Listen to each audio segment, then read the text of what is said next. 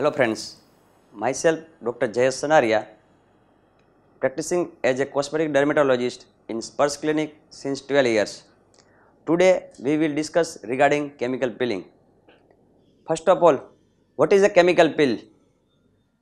Chemical peeling એ એક પ્રકારની અત્યારની આધુનિક પદ્ધતિ છે જેમાં ખાસ પ્રકારના ફ્રૂટના રસમાંથી બનાવેલા કેમિકલ કે ચહેરાના કે કોઈ પણ અફેક્ટેડ પાર્ટ્સ ઉપર લગાવવામાં આવે છે જેના લીધે સ્કિનના અપર લેયર કે ચામડીના મૃત કોષો દૂર થાય છે અને નવા કોષોની વૃદ્ધિને વેગ આપે છે.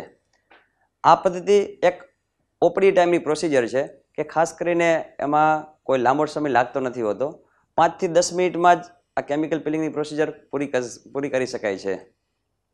કેમિકલ પિલિંગના ટાઈપ કે ખાસ કરીને કેમિકલ પિલિંગના ટાઈપ્સ તમારા એના પેનિટ્રેશન પ્રમાણે અને ઇન્ડિકેશન વાઇઝ અલગ અલગ હોય છે.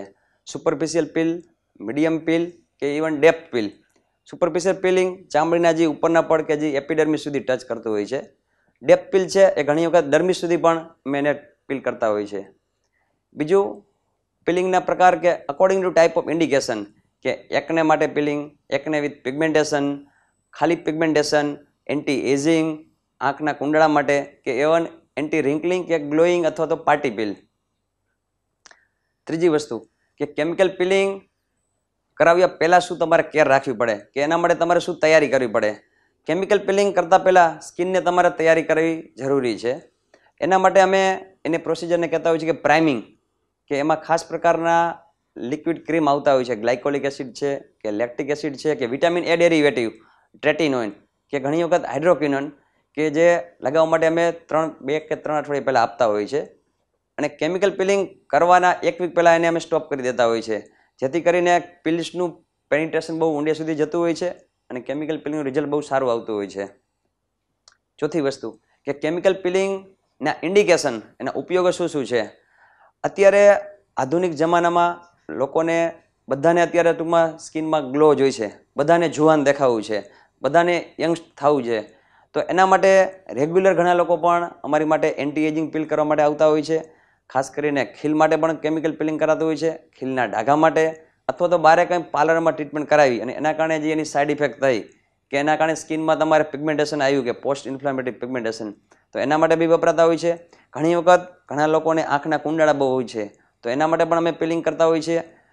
ઘણી વખત પ્રેગ્નન્સી પછી કે ડિલિવરી પછી ચહેરા ઉપર બંને ગાલની આજુબાજુમાં જે ડાઘ થતા હોય છે, જેને મેલાઝમા કહેવાય.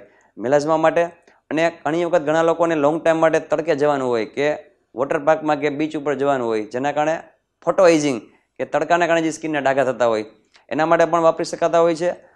અને અત્યારે ખાસ કરીને કે મેટ્રિમોનિયલ પર્પઝ કે ઇન્સ્ટન્ટ ગ્લો જોઈ છે, કે કંઈ પણ નવરાત્રિ છે, કોઈ પણ વેડિંગ છે, કે કંઈ પણ ઓકેઝન છે, તો ઇન્સ્ટન્ટ ગ્લો માટે પણ ઘણા અમે પિલિંગ કરતા હોઈએ છીએ.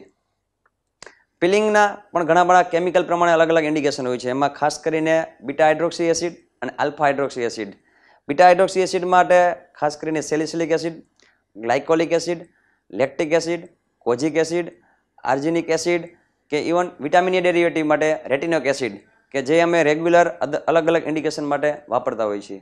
કેમિકલ પિલિંગ જેટલું ઇમ્પોર્ટન્સ છે, એનાથી પણ વધારે એની આફ્ટર કેર પણ બહુ ઇમ્પોર્ટન્સ છે.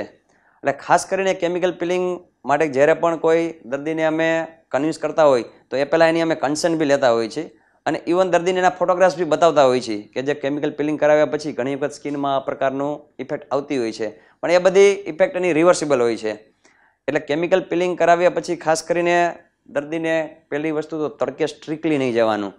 અને ઇવન તડકે જવાનું થાય તો ખાસ કરીને બ્રોડ સ્પેક્ટ્રમ સનસ્ક્રીન કે જેનું sun protecting factor more than thirty five હોય.